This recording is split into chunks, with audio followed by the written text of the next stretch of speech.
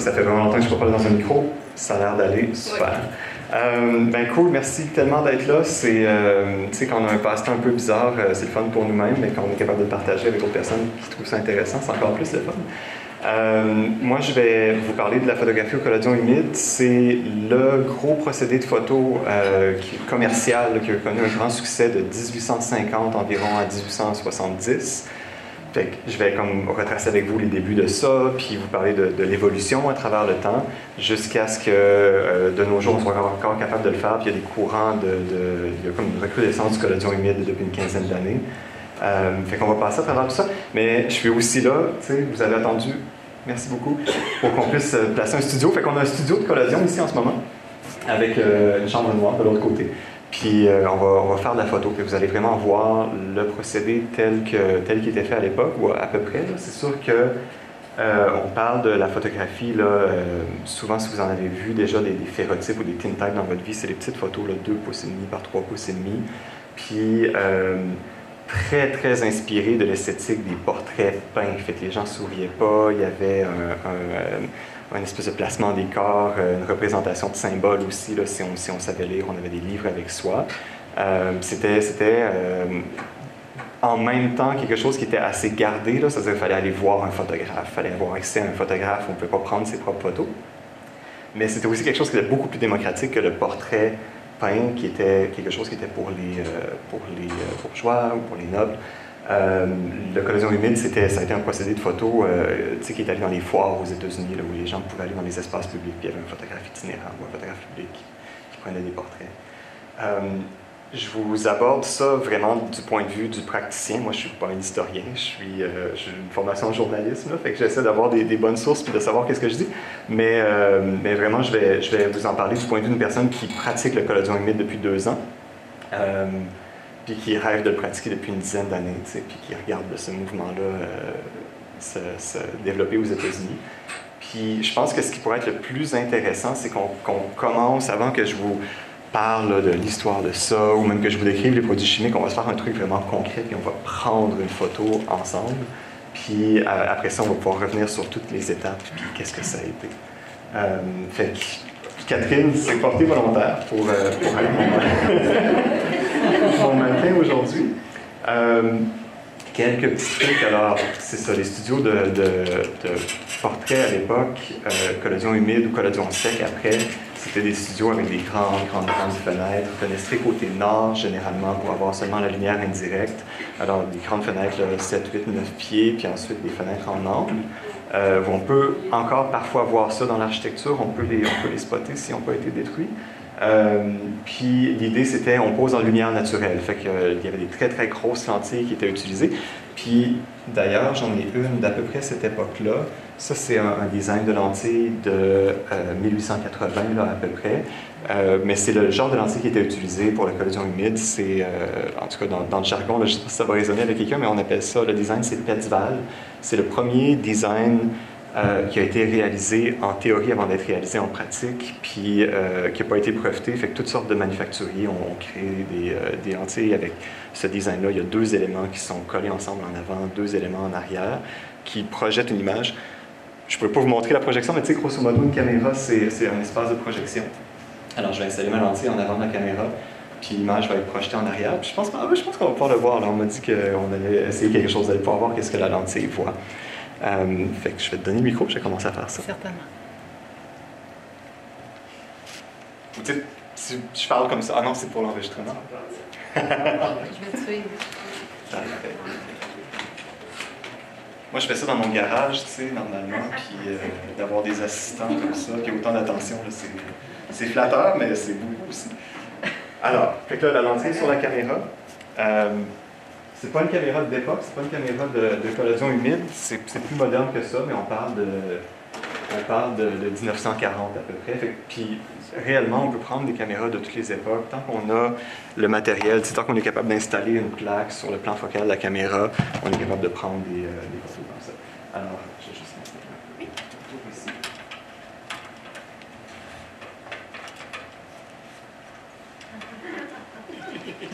C'est un peu intimidant.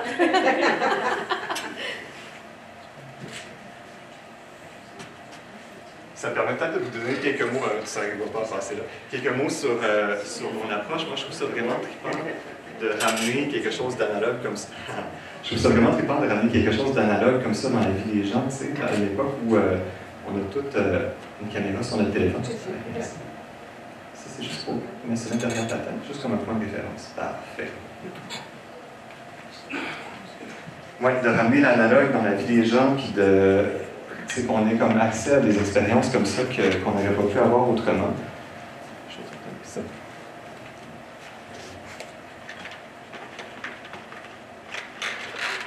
Fait que dès le départ, dès le départ, mon plan c'était de, de, faire du portrait, tu sais, puis de, de, faire du portrait. Euh, c'est ça, d'offrir cette expérience-là, de passer à travers, de prendre le temps de s'asseoir, de poser pour la caméra, puis de, passer à travers le, le stress, puis le rapport à, sa propre image.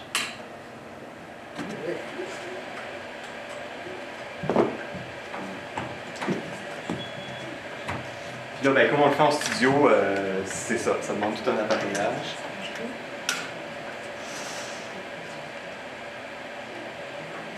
Super. OK. Alors, caméra, tiens-toi prêt. Je vais euh, ma photo.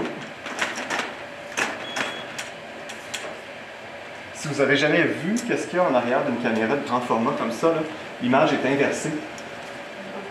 Parce qu'une lentille qui projette une image, les rayons euh, de lumière se croisent.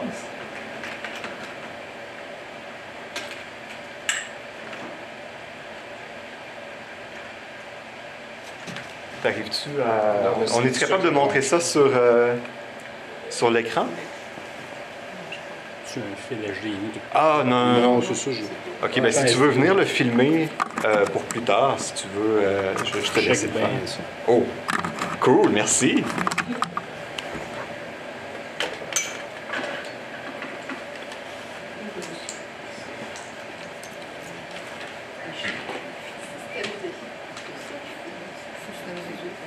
Vous allez voir exactement qu'est-ce que moi je vois dans la caméra puis la façon dont je compose une photo. Ça va être euh, sûrement, on espère. On espère. Oui.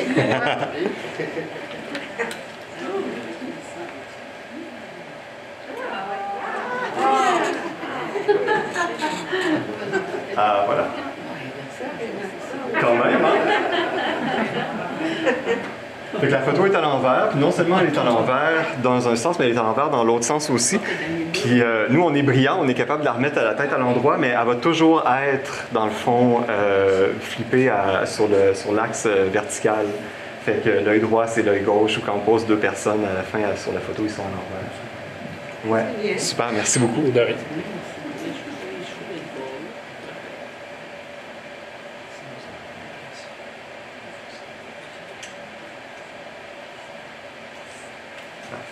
Alors, pour pouvoir prendre ma photo, j'ai besoin d'une plaque comme ça. Puis je vais commencer quelques procédés ici, mais il va falloir que j'aille en chambre noire éventuellement avec ça.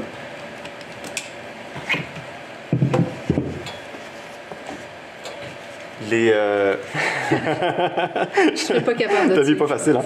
Les tintypes à l'époque, si vous en avez vu, les ferrotypes, c'était souvent fait sur des minces plaques de, de fer puis avec une laque noire par-dessus.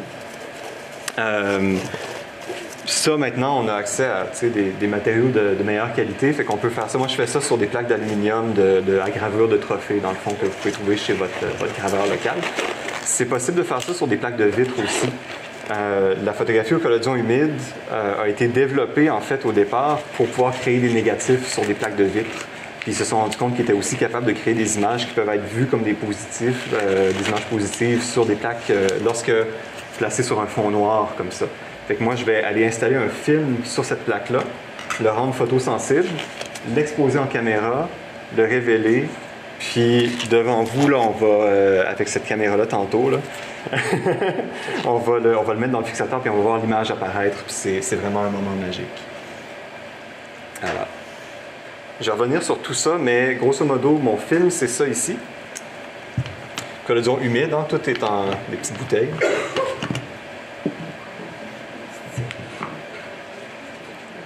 Parfait. Puis quand on lit les manuels, la littérature primaire, les manuels d'époque, c'était pas mal ça qui était fait. Alors l'idée, c'est de verser dans le milieu. Ensuite, d'aller rejoindre les coins.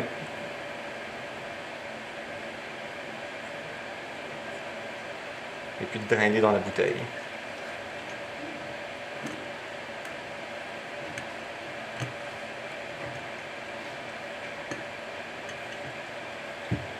Fait qu'à l'époque du tintype, comme ça, euh, toutes les photos étaient faites à la main, on ne peut pas les préparer d'avance.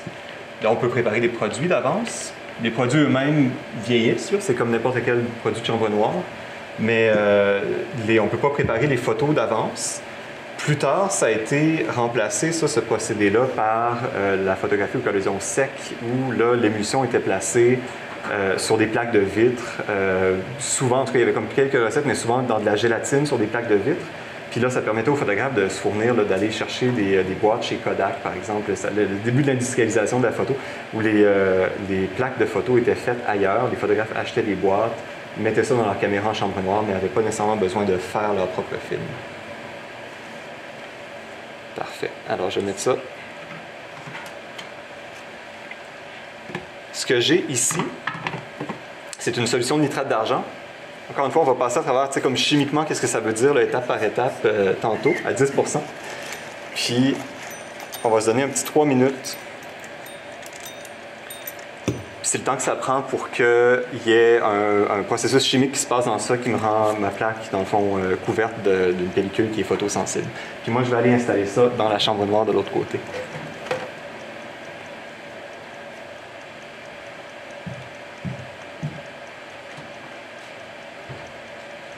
Fait que tantôt en chambre noire, quand je vais sortir la plaque de la solution de nitrate d'argent, je vais venir l'installer. Là, ici, c'est une caméra qui, normalement, peut faire des, euh, des plaques jusqu'à 8 pouces par 10 pouces. Puis en fait, on va en faire une après. C'est un peu la, surprise pour toi. Euh, on va en faire une plus grosse. Puis juste commencer par en faire une petite qui ressemble un peu plus au format qu'il y avait à l'époque. Ce que je fais, c'est un, 4 pouces par 5 pouces. C'est, euh, ça reste que c'est assez gros. C'est plus gros généralement que ce qu'on retrouvait à l'époque. C'est le, c'est le trou ici. Mais euh, bref, avec une caméra comme ça, c'est toujours possible d'aller dans plus petit. Puis le porte-film que j'ai, l'espèce de cassette qui va sortir de la chambre noire avec la plaque dedans, euh, me permet d'avoir différents formats. Fait que typiquement, à l'époque, les plaques n'étaient pas mesurées en pouces. Euh, là, je connais vraiment. C'est le praticien, c'est pas l'historien. Euh, je connais le vocabulaire en anglais, mais c'était euh, une, plaque de la grosseur du trou ici, c'est-à-dire 8 euh, pouces et demi par 6 pouces et demi, ça s'appelait un full plate. Et puis il y avait toutes sortes de divisions de ça. Fait qu'un half plate, c'est la moitié de cette grandeur-là, quarter plate, six plate, puis ça, ça, allait de plus en plus petit. Bien entendu, plus c'est gros, plus c'était dispendieux. Si vous en trouvez des des full plates d'époque, euh, c'est probablement des, trucs très précieux à conserver.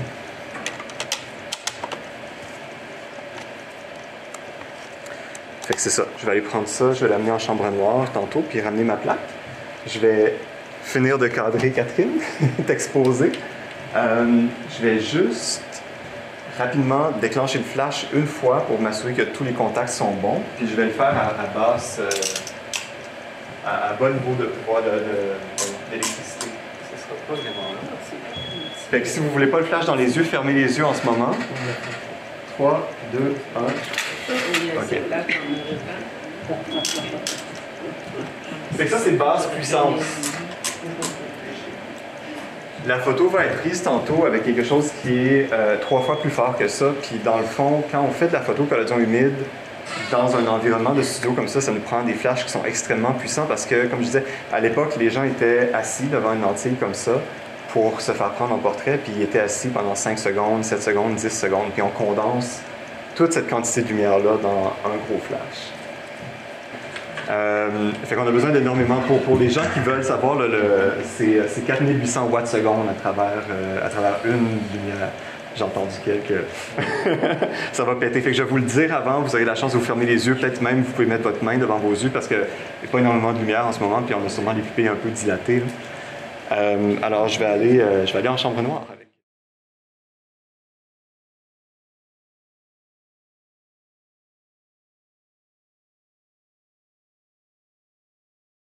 OK, alors dans, euh, dans ça ici en ce moment, j'ai une plaque, la plaque que vous avez vue tantôt, il y a une émission photosensible dessus.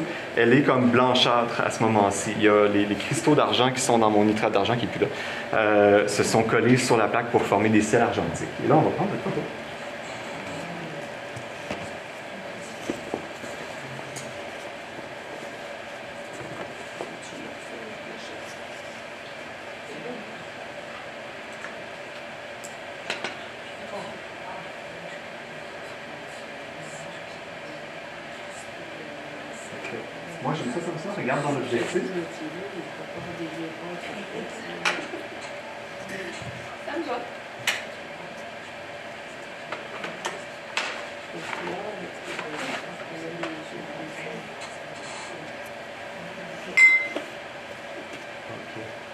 Petit bout d'intérêt peut-être. À l'époque, avant qu'il y ait des iris dans les lentilles, il y avait simplement une fente, puis on insérait un trou de plus en plus petit.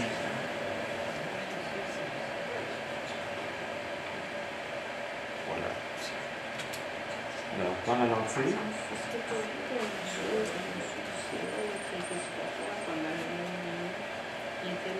Trois, deux. Ah, je vous ai dit que j'allais vous le dire, hein, je ne vous l'ai pas dit. Je suis tellement désolé. Je suis concentré sur mon affaire. Je pas avertir personne. Ouais, ouais, ouais. Je pense que mon fermé a les yeux foncés, hein, là. On va, on va voir, ça va être super intéressant. Fait que la photo est prise, mais tu peux rester là parce qu'on va en prendre une autre après. OK. Euh, je vais retourner en chambre noire. Puis ce que je vais faire en chambre noire, ça malheureusement vous le verrez pas, mais ce que je vais faire en chambre noire, c'est que ça ici c'est mon révélateur. Puis dans ce procédé-là, le révélateur est euh, versé directement sur la photo. Ça prend à peu près 10 à 15 secondes pour que la photo euh, se, se révèle. Puis, encore une fois, je m'excuse, je prends la partie technique puis je vais la pousser juste après ça, mais je vais vous expliquer comment l'image arrive à se former. Puis, euh, puis euh, ensuite, je vais revenir avec, là, puis on va la mettre dans le fixateur euh, entre nous. Pendant qu'on est en attente, je vais vous adresser quelques mots. je peux pas bouger, je peux même pas vous regarder. Bonjour, Monsieur Lebel. Simplement, je trouve ça intéressant qu'on vive ça ensemble parce que ça nous ramène à un autre temps, celui du temps long, où on devait être patient. Je pense que c'est intéressant comme genre de 2022 de, de finalement vivre ça parce qu'on est tellement habitué à être dans l'instantané. Hein, on est devenu impatient quand ça, quand ça un peu sur, euh, sur Internet. On dit, voyons, qu'est-ce qui se passe avec le site? On on est- on n'a plus cette patience de prendre le temps. Et là, l'expérience avec le photographe Yves Lavoie, je trouve qu'on on est dans cette, cette expérience-là tout à fait. euh, on vit comme les gens de 1870 devaient le faire, c'est-à-dire patienter entre chaque étape, ne pas voir nécessairement tout ce qui se passe. Il y a comme un petit côté mystérieux, une petite magie. Et en tout cas, je sais pas, moi, je suis sur la chaise de celle qui se fait photographier en ce moment et je suis très excitée. Donc, je suis contente qu'on puisse vivre ça ensemble cet après-midi euh, au Musée de la Civilisation. Je pense que c'est une belle, belle opportunité de, de, voir de, de finalement, des techniques dont on peut entendre parler. On en voit sur photos anciennes, mais là, de l'avoir devant nous, c'est vraiment un privilège et je suis contente que le photographe Yves Lavoie ait accepté de venir de, de, Sainte-Anicette pour, euh, pour euh, nous montrer son studio puis nous faire cette démonstration-là aujourd'hui. Donc, euh, en tout cas, je dis tout ça parce que quand il revient tantôt, on pourrait peut-être faire la surprise de l'applaudir. Il va faire? Merci.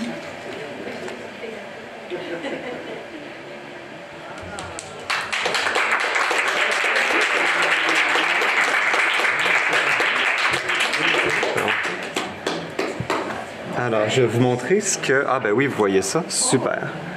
Alors, ce qu'on a en ce moment, c'est une photo qui a l'air d'être typiquement, si vous avez fait un peu de photographie, ça a l'air d'être un négatif.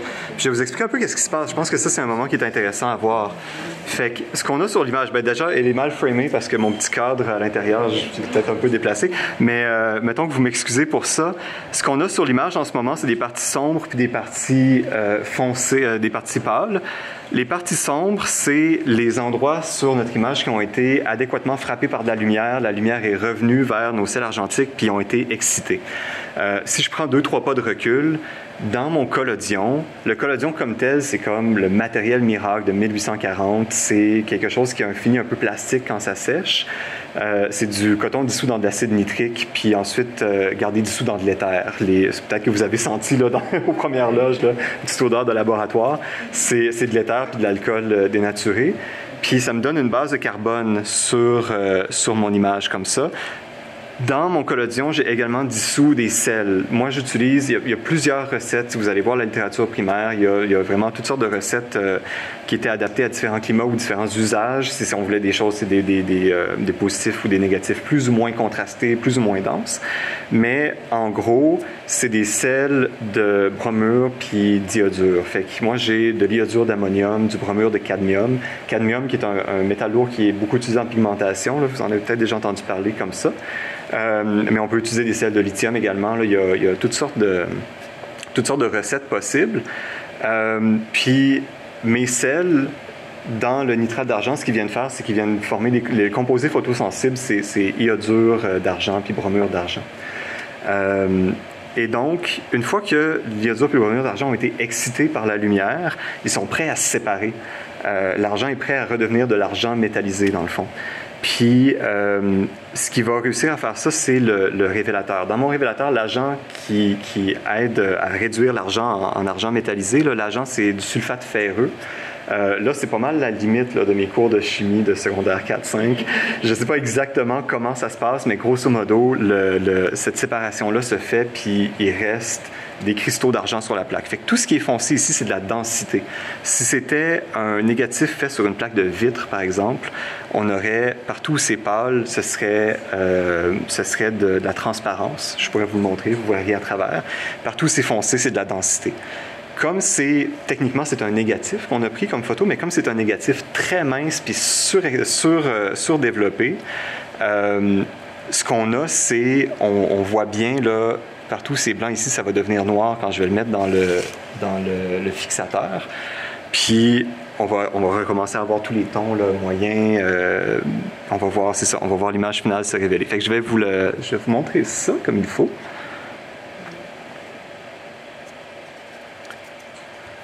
il y avait deux grandes familles de fixateurs déjà à l'époque.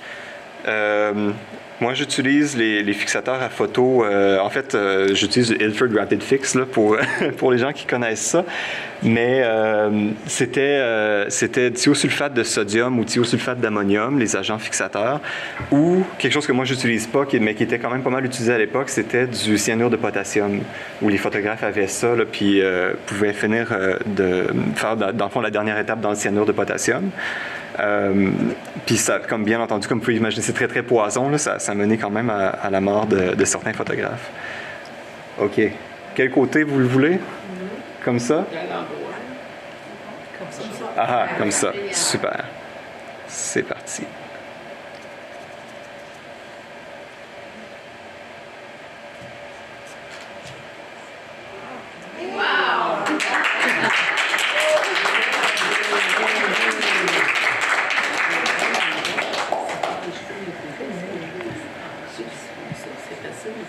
Voilà. Fait ce qu'on a, c'est une image à la fin où tout ce qui est plus pâle, je peux même le faire là, où tout ce qui est plus pâle ici, c'est vraiment là, c'est de l'argent métallisé qui, est posé sur la plaque.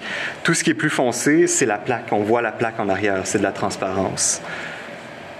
Fait que c'est comme ça. Si vous avez des, euh, des ferrotypes anciens, là, c'est la même chose. C'était du métal euh, laqué noir. Fait que euh, ce que vous voyez là, qui fait les, les différents tons dans l'image, c'est différentes épaisseurs, dans le fond, de, de, de, transparence, ou en tout cas différentes épaisseurs d'argent. Ben oui, en plus, là, notre exposition est pas mal bonne. Généralement, en studio, j'arrive à avoir un travail assez constant. C'est ce qui est pratique pour moi de comme faire venir des gens, d'avoir toujours un, fini semblable. Euh, dernièrement, j'ai commencé à faire de la photo dehors. Ça, c'est vraiment une autre game là, parce que le collodion humide, vous voyez probablement les, euh, les vêtements de Catherine, les lèvres rouges, le chandail rouge. Le collodion humide, c'est un film, on, on dit, c'est un film orthochromatique. C'est très, très, très sensible au spectre des rayons UV, les couleurs bleues. Dès qu'on tombe dans les turquoises, les verts, éventuellement, le, le, la sensibilité tombe d'un coup. Puis euh, moi, je peux avoir autant de lumière rouge que je veux, c'est même orange dans la chambre noire, puis euh, ça ne va jamais affecter l'image. Fait que ce qu'on a vraiment, c'est euh, les lèvres. La définition qu'on voit dans les lèvres, c'est la réflexion de la lumière, mais c'est pas la couleur, c'est pas le ton comme tel. Pour vous donner une idée, là, puis je pense que ça, c'est une, euh, comparaison que vous allez. euh, c'est comme notre, tranche d'âge. Si je dis ça à des plus jeunes, ils ne savent pas trop, mais euh, Dark Side of the Moon de Pink Floyd, c'est un, prisme avec un triangle. On voit juste les deux, trois faisceaux d'en haut. Tous les autres faisceaux, là, plus, plus rougeâtres, jaune, orange, on on- ça, ça se perd, c'est noir. Fait que là, je pense. Ce qu'on va faire, c'est que moi, j'aimerais ça vous, euh, vous faire passer à travers comme tout le procédé, y compris le vernissage de la photo. Fait que, est-ce que tu peux me rincer ça? Oui, à peu près. Bon, en tout cas, un petit peu moins parce que j'imagine que les gens vont vouloir partir. Mais c'est ça. Présentement, la photo doit rester humide jusqu'à ce qu'elle soit bien lavée. Il y a encore du, euh, du fixateur dessus. Si on la mettait à sécher avant qu'elle soit bien lavée, c'est comme du papier photo. Là, ça va finir par attaquer l'image. Fait que, on va prendre un petit 15-20 minutes là, de, brassage de bac. Puis quand elle va revenir, on va la sécher. Puis je la, je vernirai devant vous si ça vous tente euh, de voir le, procédé au complet puis le produit final. Euh, si vous êtes d'accord avec ça, si ça vous tente de rester pour quelques minutes de plus, je ferai une autre photo de Catherine sur une grosse plaque. Que vous allez encore mieux voir dans le procédé.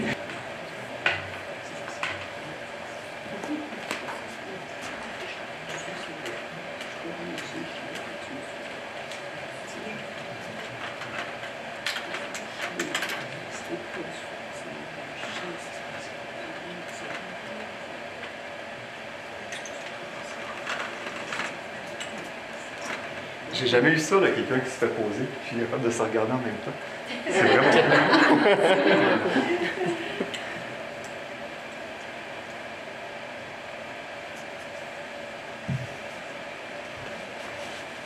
Parfait. Fait que là, pour le moment, je vais verser ma plaque. De toute façon, comme tantôt, il y a toujours un petit délai.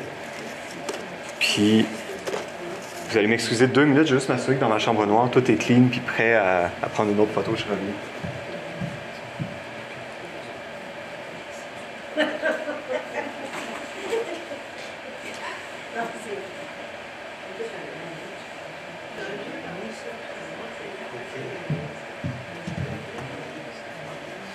Est-ce que tu dois enlever ça? J'espère que j'oublie. Dans Oui, c'est ça. Avec le stress.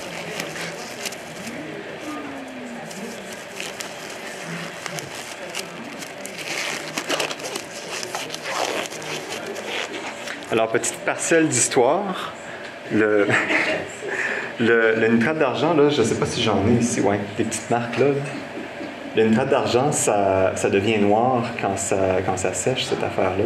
Puis, euh, j'ai souvent des, des petites taches sur les mains. Euh, à l'époque, les photographes n'avaient pas de gants, fait qu'il y avait constamment les doigts dans la chimie. Puis, euh, au, point où, dans certains milieux, la photographie, c'était the black art, l'art noir. Puis euh, il y a même des, euh, des témoignages de photographes qui sont euh, fâchés parce que c'est dur de trouver une femme quand on a toujours les doigts, c'est comme un, un problème à dater dans le fond.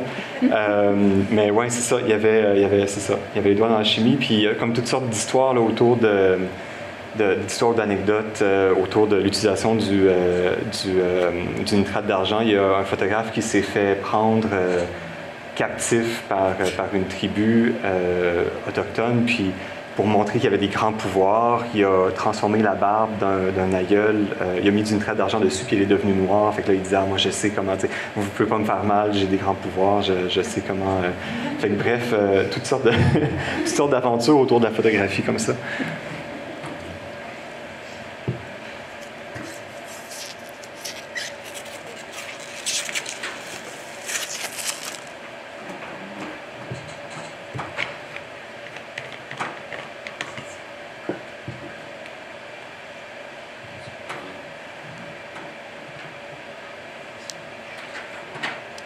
Une fois, il faut juste en mettre plus. On va chercher les coins. Si je voulais, je pourrais ne pas mettre de collodion sur toute la plaque. Oh, ça tombe un peu. Sur toute la plaque, puis à ce moment-là, je pourrais créer un effet de vignette naturelle dans la photo. Dans le fond, là où il n'y a pas de, de collodion, il n'y a pas de film. Ah oui, on va, je m'excuse hein, si euh, c'est une odeur désagréable.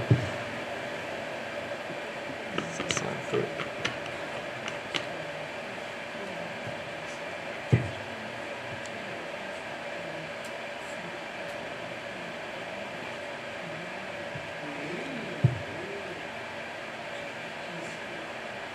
Le mouvement que tu fais, ça sert à égaliser. euh, Oui, c'est pour éviter, même, même en faisant ça, puis il y a comme plusieurs écoles de pensée, moi je le fais assez rapidement, il y a des gens qui me regarderaient sur eux, euh, qui font comme des, grands mouvements simples. Euh, là, je ne sais pas si on va le voir, là, si tu focuses là-dessus, là, dans la lumière, on voit... Ah, il y a toutes sortes, c'est un fond de bouteille, là, fait qu'il y a toutes sortes d'affaires qui se passent dans ça, mais on voit même des, quand même là, des petites crevasses dans le dans l'angle où, euh, où le collodion est descendu.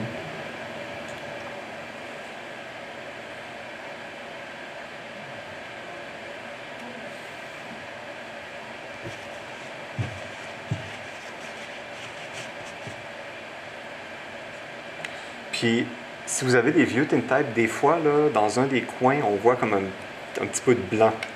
Ça, c'est le photographe qui met son pouce pour vérifier. Là, à partir du moment où je mets mon pouce puis que ça fait une empreinte digitale qui reste dessus, ça veut dire que c'est assez sec pour être installé. Les solvants se sont évaporés, dans le fond. Fait que si vous avez ça, puis tantôt, on va le voir sûrement dans l'image, ce petit coin-là où j'ai mis mon pouce va sortir blanc. Ouais. J'imagine qu'il y a comme beaucoup d'argent qui se, qui se pogne là. Mais euh, ouais, fait que, en tout cas, un truc sur l'identification de tintype.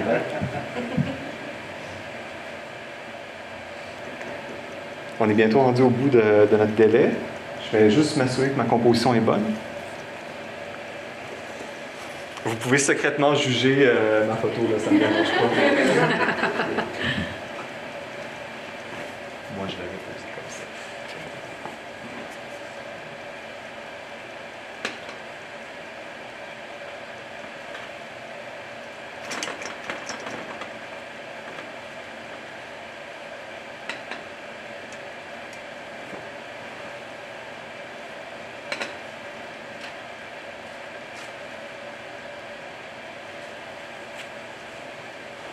Parfait. On va faire quelque chose d'assez, simple.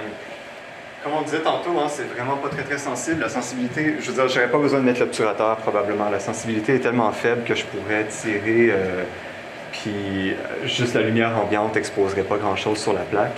On va le faire quand même juste au cas où. Mais euh, quand je suis en chambre noire, il y, a il y a un petit trait de lumière qui passe sous la porte, là, puis ça, ça, ça, fait, ça fait vraiment rien. Je vais essayer mon focus, mais je pense qu'il va pas vraiment bouger. Un petit peu.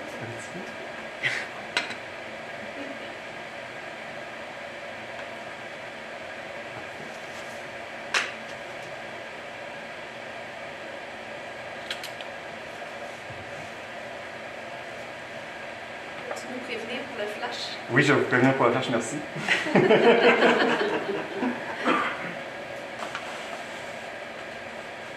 je vais faire des comptes de 3 à 1, puis je vais flasher après 1. Alors, 3, 2, 1. Et voilà.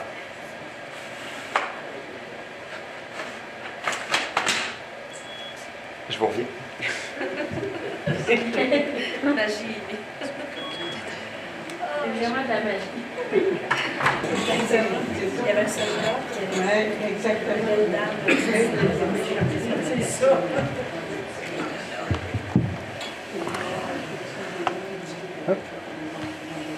Oui. voilà. Alors, on a le portrait de Catherine ici. Comme vous allez voir, pour deux raisons, c'est très très dense en bas ici, probablement parce que mon bol, la lumière n'a pas énormément exposé le bas de son chandail, puis aussi parce que Catherine est habillée en rouge, fait que déjà, comme on a su tantôt, là, ça, ça expose pas énormément. Et donc, on va découvrir cette photo-là ensemble.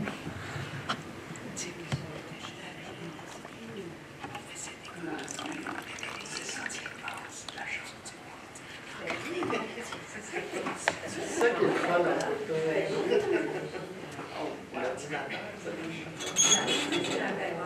Hey, c'est super. Ah, Oh, wow!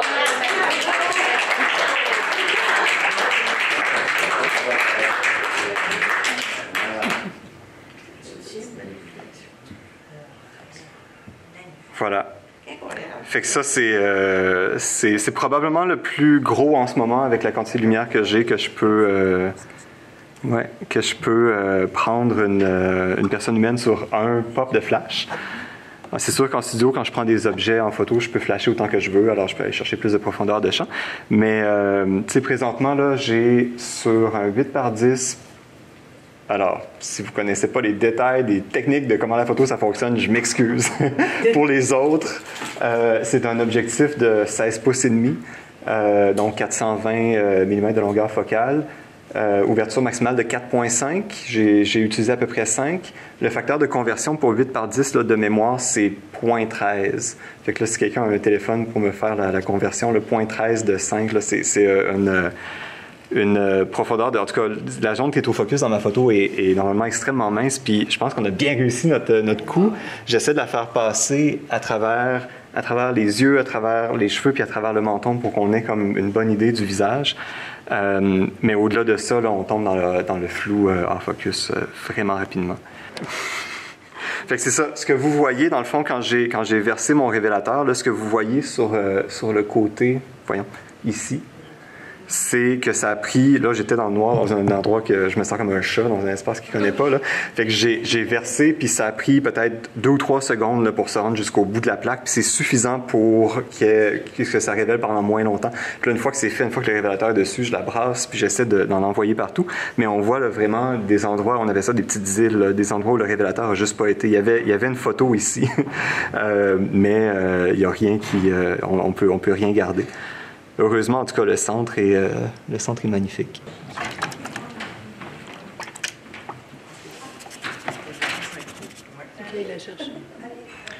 Ouais. Ah, elle est là, parfait. Mes valeureux assistants, merci beaucoup. Fait que ça, c'est la photo. Ah, on est quand même assez, euh, assez pareil. Euh, ça, c'est la photo qui nous arrive. Elle est lavée, là, disons, au bac pendant quoi, euh, 20 minutes, euh, 25 minutes. Puis, euh, ce que je vais faire, c'est que je vais, normalement, je la laisserai sécher par elle-même, mais je vais prendre un séchoir à cheveux puis je vais la sécher pour, euh, pour éventuellement mettre euh, le vernis dessus.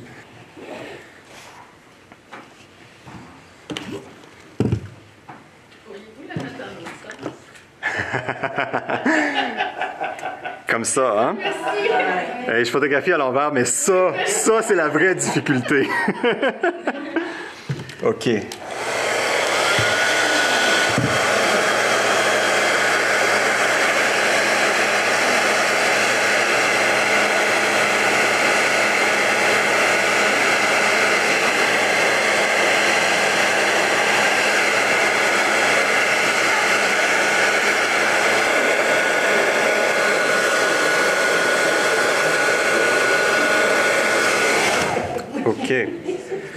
Alors, on a ça, bon point, au focus.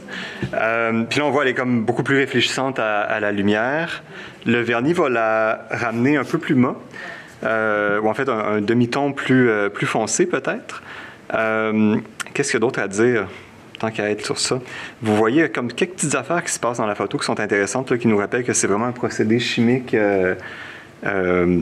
disons comme tu tous les ingrédients, c'est des ingrédients vraiment bruts, il y a à peu près une douzaine d'ingrédients. Euh, ce qu'on voit ici, le, petit détail noir qu'il y a là, ça s'appelle une comète. C'est probablement un petit grain de poussière qui s'est ramassé sur la plaque au moment où je l'ai mise dans le nitrate d'argent, puis qui a comme eu une espèce de petite traînée de, de nitrate d'argent qui s'est formée autour d'elle. Fait qu'il y a toutes sortes, de, toutes sortes de problèmes de même qui peuvent arriver, qui sont vraiment beaux. OK.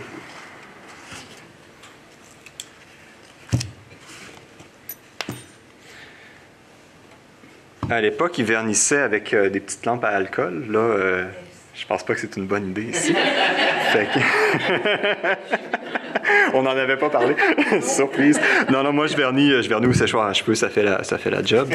Euh, il y a deux écoles de pensée dans le, dans le vernis au collodion humide. Euh, vous avez le- la gomme de Sandarac, qui est un arbre euh, de l'Afrique du Nord, si ma mémoire est bonne.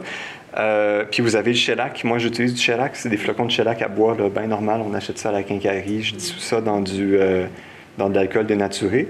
Puis euh, je rajoute du... Dans, dans tous les vernis, en fait, moi, je rajoute, je rajoute du, de l'huile essentielle. Typiquement, c'était de l'huile essentielle de lavande. Mais euh, c'est ça, comme dans cette espèce d'idée-là de genre explorer une histoire euh, laurentienne de la photographie. Quand je dis je me demande, est-ce qu'il y avait eu de l'huile essentielle de pain, par exemple, ou d'autres, d'autres sortes d'huile essentielle qui étaient utilisées, mais en gros, ça sert à garder le vernis souple. C'est un plastifiant qui sert à garder le vernis souple euh, à travers le temps pour pas qu'il craque. Fait que pour le vernis, c'est vraiment la même chose que pour le collodion. Merci.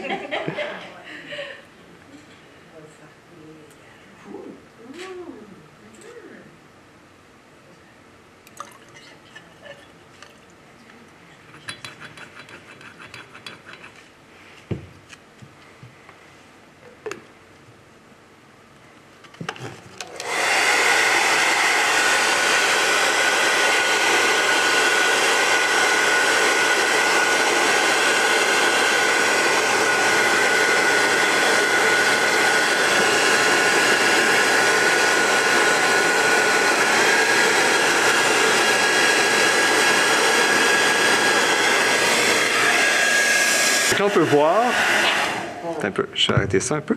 Ce qu'on peut voir, c'est dans le fond la photo. euh, la photo, elle est là. Là, c'est sûr que j'ai fait une job de vernis un peu de brousse, là, fait qu'il y a des, petits, des petites imperfections dedans. Mais ce qu'on peut voir aussi qui est intéressant, c'est qu'on était un peu surexposé. On a perdu, ouais, on a perdu du, euh, des détails dans le visage de Catherine. Fait puis on le voit aussi, la, surexposition, je pense que vous pouvez le voir, c'est un peu plus jaune en haut. Le collodion humide, quand il est très surexposé, là, il devient jaune comme ça. Fait qu'il aurait peut-être fallu que mon flash en arrière. euh, fait que c'est, euh, c'est, en tout cas, c'est un procédé qui est comme euh, assez complexe, puis qui a ses petits, euh, petits détours, puis arriver à obtenir des résultats constants, ça, demande quand même pas mal de pratique. Oui, mais ça, ça vaut la peine. Je veux dire, même, même telle qu'elle est là, elle est intéressante, mais on a perdu beaucoup de détails dans son visage. Le, lavage puis le vernis, là, avant le vernis, c'est là que j'ai un setup comme ça, puis je scanne ma photo, fait que ça me fait une, euh, une version numérique. Ouais. Puis c'est pour ça. Puis d'ailleurs, si jamais vous allez voir mon travail, moi, mes versions numériques sont plus euh, punchées ou plus contrastées que, que, que cette photo-là, disons. Euh, que cette photo-là. Euh, parce que quand elle va sécher, elle va, elle va, elle va blanchir vraiment beaucoup, puis c'est à ce moment-là que je la capture. Voilà, ben merci beaucoup.